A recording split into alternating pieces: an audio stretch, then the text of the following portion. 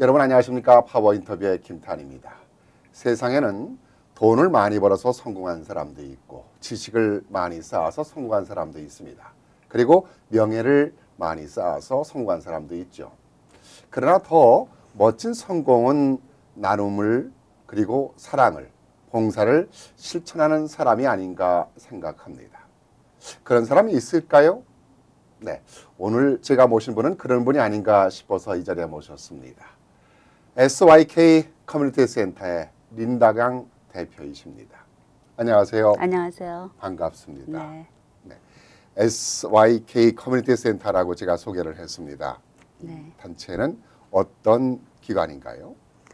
어, 이건 이렇게 조그마한 장소에서 동네 어른들이 오셔서 아침에 커피 한 잔 하시고 또 운동도 좀 하시고 그다음에 점, 맛있는 점심을 드시고 또 5시까지 뭐 음악도 들으시고 뭐 공부도 좀 하시고 그런 다음에 집에 가시는 곳이에요.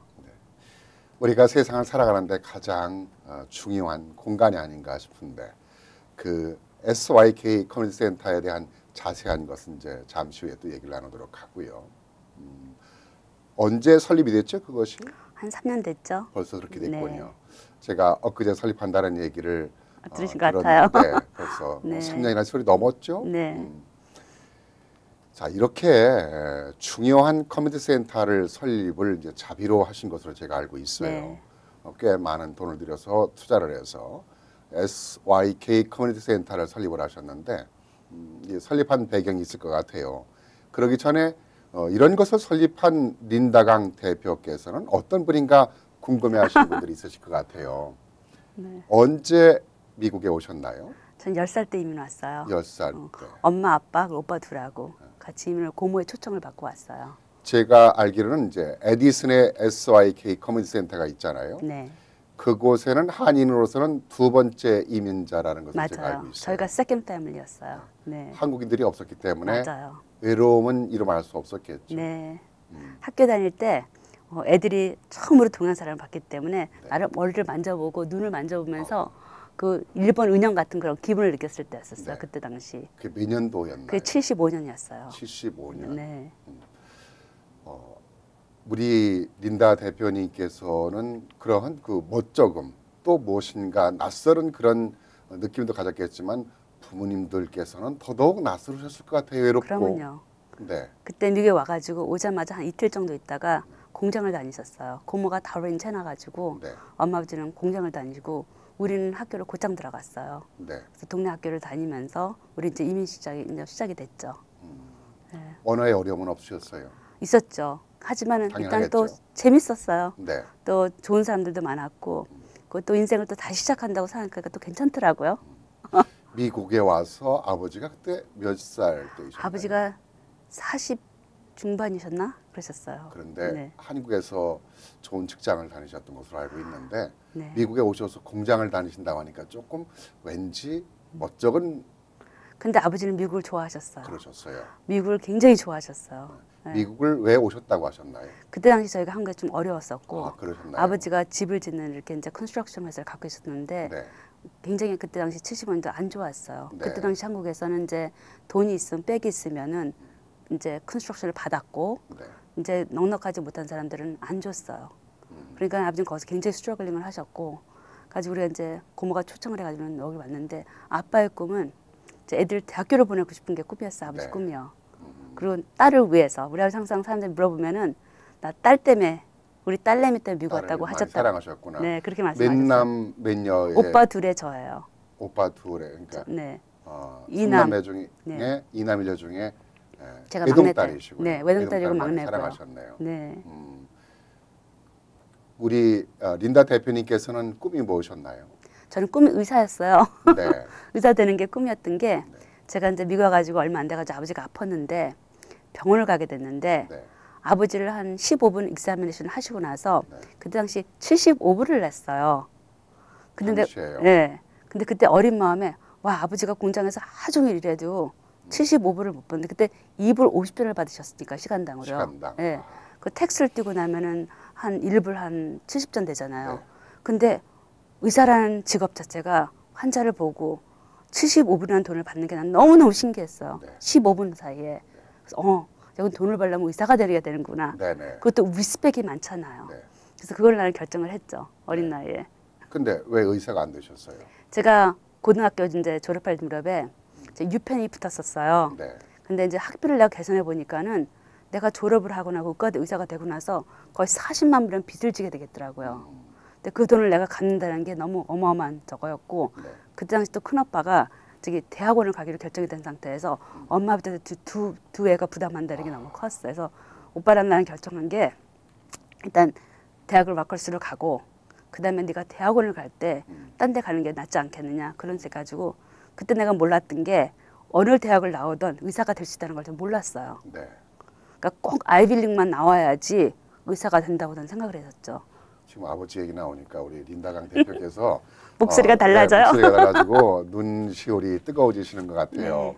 아버지 사랑을 많이 받았던 아, 네. 그런 기억이 이렇게 나, 나 보니까 그러면서 그 이제 의대에 합격을 했는데도 불구하고 이제 많은 학비 때문에 의대는 합격은 아니었고 네. 대학을 이제 붙었죠 대학을, 유펜에. 네, 근데 유펜에. 그걸 포기하고 근데 그때 당시 러클스는 나라 그 financial aid랑 모두 해가지고 한 학기에 한 700불밖에 안 됐고 네 UPenn 정도는 학비가 거의 15,000불로 뛴단 말이에요. 그때 당시에 네, 그러면요.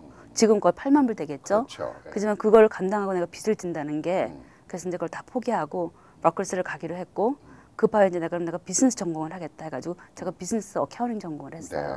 네. 그렇게 해서 그 남들은 그 부모님한테 용돈 받아서 열심히 돈을 쓸 때 아르바이트를 많이 하셨다 그래요. 저는 거의 40시간을 일을 했어요. 학교 다니면서. 학교 그때. 다니면서요? 네. 근데 한 6시가 되면 아버지가 꼭 저녁을 저한테 갖다 주셨어요, 학교에.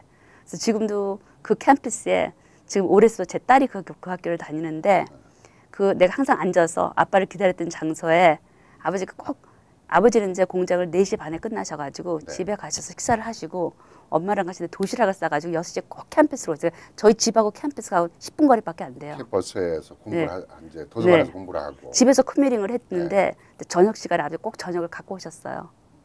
나머지 시간은 도서관에서 공부하고 또 또 일을 다녔죠. 예. 근데 그 아르바이트 했으면 친구들하고 커피도 먹고 돈도 좀 쓰고 그랬어야 될 텐데 안 전 다? 모았어요. 다 모아가지고 뭐 하셨어요? 제가 졸업 어, 하기 전 1년 전에 네. 제가 어, 조그마한 property를 하나 샀어요. 그때 당시 한 3만 5천 불인가 정도 샀는데 네. 그게 한 3년 있다가 거의 내가 한 10만 불에 팔았어요. 그러니까 대학 때 아르바이트에서 번 네. 돈을 가지고 어 이렇게 뭐 투자를 했죠. 아파트 사셨나요? 칸도, 건물을? 칸도를 콘도를? 샀어요. 네. 어떻게 그런 생각을 했어요? 그때 당시 내가 주변의 사람들이 돈 있는 사람들을 보니까 다 프라피를 갖고 있더라고요. 네. 그래서 어, 거기다 투자하면 좋겠다. 근데 누가 나한테 얘기했던 게 차는 최고로 월스트 인베스트ment이고 문서는 베스트 인베스트ment이라고 하더라고요. 네. 그것도 문서를 안 쓰는 문서. 그러니까 empty 문서를 더 좋다는 거죠. 그러니까 empty property. 그러니까 내가 쓰지 않고 남한테 렌트 놓을 수 있으면 그래도 빠르다는 거죠. 그래서 내가 렌트를 놓기 시작했죠. 가지고 첫 또 10만 불을 만져보니까 또 재밌는 게 그 10만 불 갖고 또 세 개를 사가지고 네. 또 길르니까 또 재밌더라고요. 지금은 몇 개 가지고 계세요? 지금 꽤 갖고 있어요. 어, 제가 알기로는 수십 개 갖고 있다고 네, 좀 꽤 갖고. 있어요. 예. 그때 아르바이트에서 seed money로 시작한 것이 지금은 맞아요. 어, 뭐 정확히 밝힐 수는 없지만은 수십 개의 네. 어, 개인 property를 갖고 네. 계신 참 대단하다라는 생각이 드는데 그러면서 또 지금 회사를 운영하고 계시죠? 네. 제가 이제 어, billing 회사를 갖고 있고요. 네. 그다음에 이제 surgery 센터를 세 개 갖고 있어요. billing 회사라는 것은 어떤 billing 회사를? billing이 뭐냐면 이제 surgery 센터 같은 걸 내가 이제 짓게 되면은 네. 거기서 이제 두 가지는 이제 제가 거의 이제 가져 가져요. 마취과 하고 네. 그다음에 이제 그 billing 이제 인슈런스 컴퍼니 돈을 네. 이제 해가지고 받아내는 그런 청구 맞아요. 회사. 네. 그러니까 그리고 또 직접 수술 센터 병원을 운영하시는 걸로 알고 예, 있어요. 그게 서저리 센터예요. 네, 그게요. 네, 지금 그것도 세 개 운영하는 세 개예요 것이죠. 지금 현재는. 네. 어, 그러면은 대단한 매출을 갖고 계신다고 볼 수 있겠네요. 그 정도 대단한 정도는 아니고요. 그냥 충분히 내가 쓰고 그다음에 또 이제 또 내 주변 사람들한테 좀 베풀 정도가 돼요. 네. 네. 그런데 그렇게 성공을 했으면은 이제 편히 이제 고생을 하셨잖아요. 네. 대학 생활에서도 내가 공부하면서 어, 남들 놀 때 40시간이 넘는 네. 그 일을 하면서 아르바이트를 하고 그래서 이제는 내가 성공을 했으니까 이제는 내 인생으로 해서 멋지게 여행도 다니고 실컷 쓰자라는 생각을 했었을 텐데 음, 그 SYK 커뮤니티 센터를 그 설립하는데 많은 돈을 투자한 것으로 알고 있어요. 네, 제가 한3 million, 네. 한 30억이죠 한국 정도 해서 네네. 네, 그 정도 했어요. 어떻게 해서 그것을 또 설립을 하게 됐나요? 어, 그걸 이제 어려서 아빠가 이제 미국에 와가지고 Jewish 커뮤니티 센터를 굉장히 부러워하셨어요. 네. 주식 그 주식 애들은 정말 잘하는 것 중에 하나가 자기 자식이 의사가 못 되면은 다른 자식 의사를 만들어 가지고 주식이라는 그 명예를 네. 높이는 그런 꿈이 커요. 그 주식센터가 모든 것들은 딴 사람들은 돈을 내더라도 주식은 거의 돈을 안 내요. 그러니까 아빠는 그런 곳이 있었으면 했었어요. 그래서 아버지 영향을 받아가지고 이제 내가 아버지 살아계실 때 해드려야 되는데 아버지가 떠나고 나서 거의 10년 후에 제가 하게 됐어요. 아하. 예. 근데 이제 그 돈도 이제 내가 또 하나 이거 말고 하는 것 중에 이제 릴리스테이스를 제가 해요. 이제 맨하탄의 큰 디벨로퍼들이 새 빌딩을 짓게 되면은 네. pre-construction price 물건을 저한테 줘요. 네. 그러면 제가 이제 그걸 갖다 이제 사람들 소개해가지고 거기 커미션이 나오는 거를 SYK로 제가 이제 이제 거기 쓰는 거예요. 그 expense로요. 아버지 얘기를 좀 더 하고 네. SYK 커뮤니티 센터 설립 얘기를 좀 했으면 좋겠는데 네. 아버지는 어떤 분이셨는지 한번 좀 말씀해 주세요. 아버지는요 어, 약주 좋아하셨고 네. 네, 사람들하고 어울리는 거 굉장히 좋아하셨고요. 네. 그리고 또 어, 아버지는 자기가 못 배운 게 한이 막히신 분이세요. 네. 그래서 자식들한테 공부를 더 하고 근데 한 번도 뭐 공부하라 말씀하신 적은 없어요. 그냥 딱 그냥 그리고 올바르게 사는 게 아버지 꿈이었어요. 누가 10불을 주더라도 그게 잘못된 돈이면 쓰지 말고 그 누가 네가 10불을 받고 싶을 때 그 사람이 그걸 그 돈을 정말 제대로 버는 돈이 아니면 받지 말라고 하셨어요. 그리고 내가 뭘 잘할 때마다 아버지는 정말 뭐를 했던 용기를 주셨어요. 네. 그러니까 무조건 딸이 하는 건 최고였어 아빠 눈에는요. 딸이 최고 이쁘셨네요. 네. 음. 우리 딸이 최고 공부 잘하고. 근데 내가 어느 날 내가 어, 중학교 때 내가 학교를 갔는데요. 난 내가 최고로 똑똑하고 최고로 이쁘고 최고로 많이 안다고 생각했는데 가서 보니까 세상이 나보다 더 똑똑한 애들 더 많더라고요. 네. 그때 아버지한테 거짓말을 시켰다는 걸 알게 됐어 내가. 어. 음. 뭐 시험 잘못 봐가지고 뭐 네. 혼난 적은 없어요. 시험 잘못 봐가지고 내가 아빠한테 아빠 내가 시험지가 정말 어려웠으면 아빠 항상 하는 게 네가 부족한 게 아니라 시험지가 잘못됐다고 저한테 말씀하셨어요. 음. 네. 그 정도로 딸을 믿었군요. 네. 용기를 주시, 네. 주셨고. 한때 어, 내가 고등학교 중학교 때 학교에서 발표를 해야 되는데 그날 굉장히 떨리더라고요. 그래서 아빠한테 아빠 내가 오늘 발표를 해야 되는데 너무 떨리니까 아빠가 나한테 하신 말씀이 그 사람들이 너를 보러 왔지 네가 그 사람 보러 간 게 아니래요. 거기 서가지고 네 바로 앞에 있는 사람들이 너를 본 거니까 네가 실수를 해도 괜찮고 네가 울고 짜고 해도 괜찮고 모든 걸 다 버리고 넌 그 사람들 말 네가 할 말 하고만 나오면 돼. 그래서 요새도 난 힘들고 내가 이제 음, 항상 이제 내가 이제 스피치 같은 걸 많이 하니까 가다가 그날 아침에 어, 내가 오늘 좀 너무 힘들다 피곤하고 근데 아빠 생각을 해요. 아빠가 그 사람들 너를 보러 왔지 네가 너 그 사람들 보러 간 거 아니야. 그러니까 용기를 내고 네가 하고 싶은 말 하면 되는 거야. 그 말이 항상 생각이 나요. 그렇게 하셨던 아버지가 네. 어느 날 갑자기 편찮으셨다고 그래? 네, 아버지가 10년을 누워 계셨어요. 네. 오랫동안 누워 계셨네요. 네, 10년. 네, 스트로크하고 뭐 당뇨에다가 여러 가지 하셔가지고 10년을 누워 계셨었는데 그 10년을 어머님이 집에서 모셨어요. 네. 그리고 아버지가 나중에 내가 아버지를 내가 묻고 퓨너를 하고 내가 집에 와서 내가 생각해 보니까는 아빠가 많은 그 10년 동안 몸을 못 움직이시니까 나한테 딸내미 나 빨리 보내줘 이말 하셨는데 아니 내 능력으로 된다면 아버지 내가 평생 모실 거야 그랬는데 아버지가 그 마지막 내가 묻으면서 내 후회한 게 하나 있어요. 자식으로서 이게 아버지를 위해서 내가 살게 했던가 아니면 내 자신을 위해 살고 싶어 했던가 지금 보니까 내 자신인 것 같아요. 그래서 요새 내가 퓨너를 가고 내 친구들이 막 울고 짜고 막 그러면 내가 그래 빨리 보내드려. 내가 내 입에서 그 말하는 건 내 경험으로 얘기하는 거예요. 우리가 물론 부모가 forever 살면 좋지만 그건 아닌 것 같아요. 힘들어하시고 그럴 때는 우리 도리로 보내드리는 것도 좋은 것 같아요. 나는 못했지만 네. 네. 하지만 어, 내 자신을 위해서 최선을 다해 산다라는 것은 또 부모가 진정 맞아요. 바라는 일일 거라고 생각이 맞아요. 돼요. 네.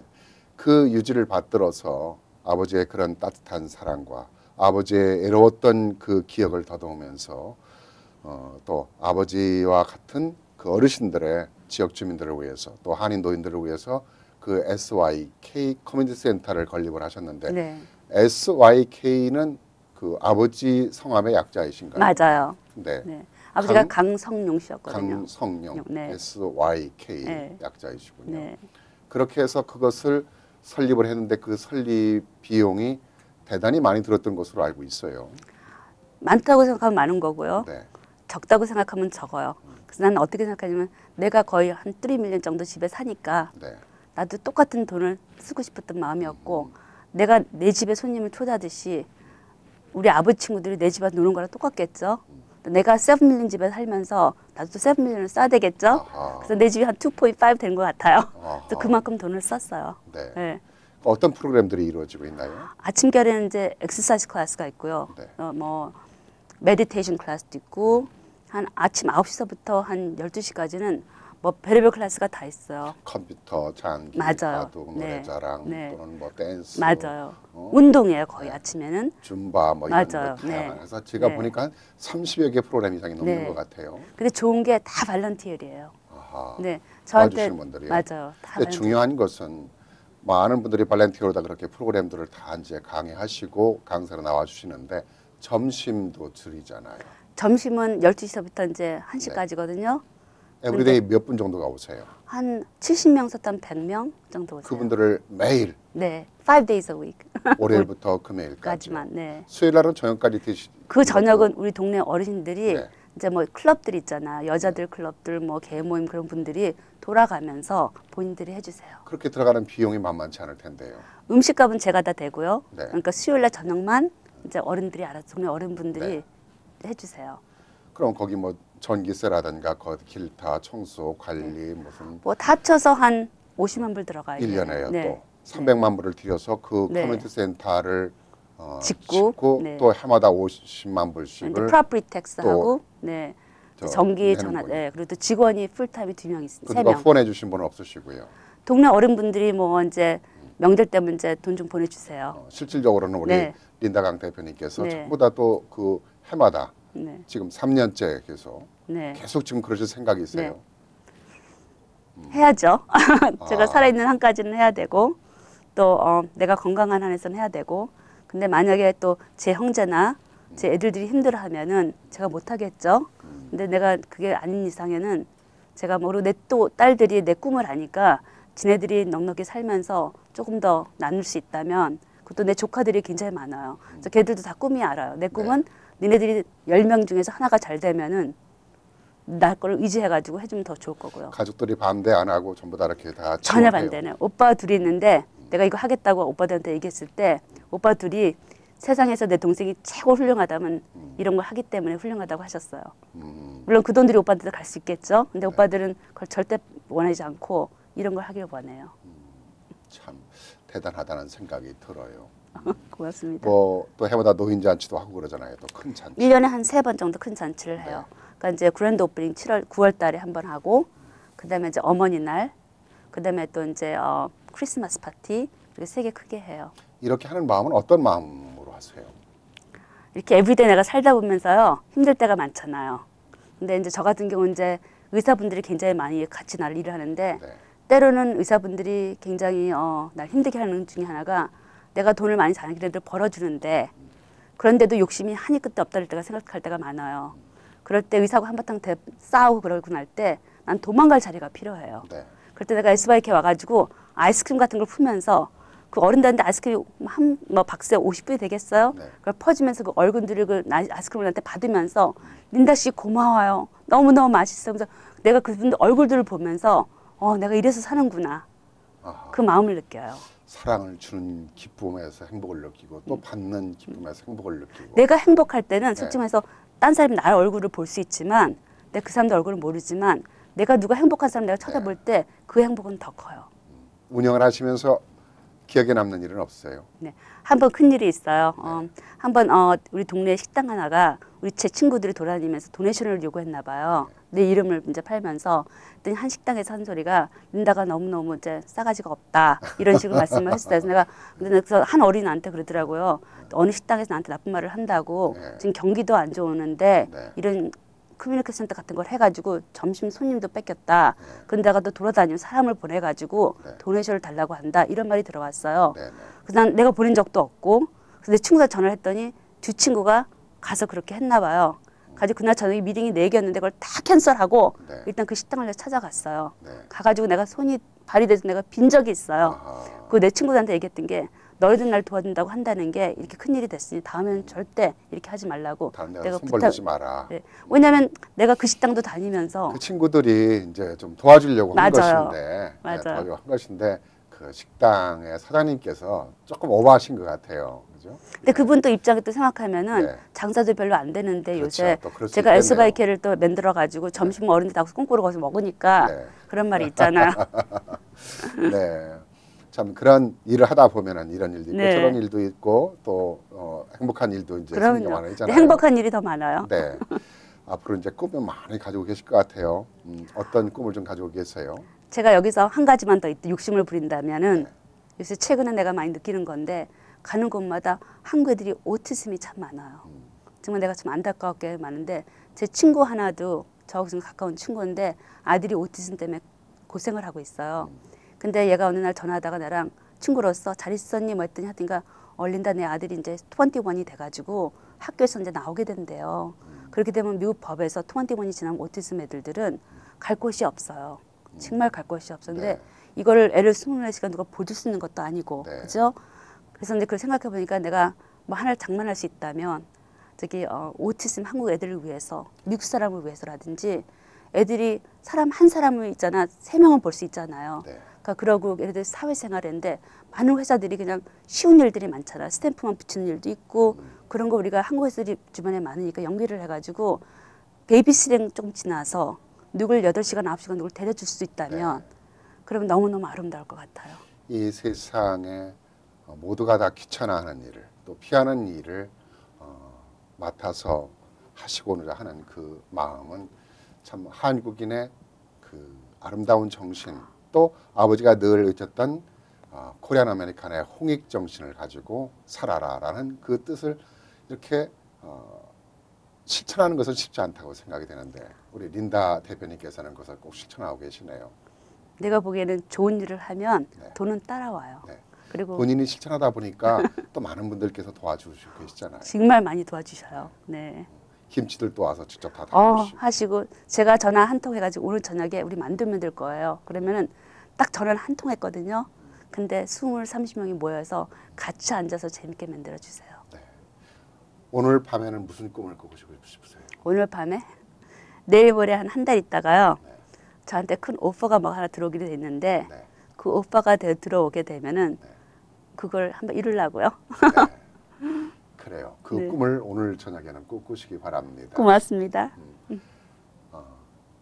에디슨 지역에 사시는 어, 모든 우리 한인 동포 그리고 그 지역의 모든 주민들이 린다 같은 천사가 있어서 아마 행복한 어, 도시가 이루어지지 않을까 생각이 듭니다. 그 열기가 이 뉴욕에도 또 세상 다 네. 향기롭게 퍼져 나가면 좋겠다는 생각이 듭니다. 네, 그건 네. I agree. 그 꿈과 향기가 더더욱 진하게 퍼질 수 있도록 어, 해주시기 바랍니다. 고맙습니다. 고맙습니다. 네. 네. 네, 오늘 어, SYK 커뮤니티 센터의 린다강 대표와 함께 얘기를 나누다 보니까 Korean American의 또 한국인의 자존감이 높여지고 위상을 크게 만들고 있지 않나 생각이 듭니다. 음, 이런 분이 있어서 세상은 더 아름답다라고 또 얘기를 하고 싶습니다. 네, 이 시간 순서를 마치겠습니다. 안녕히 계십시오.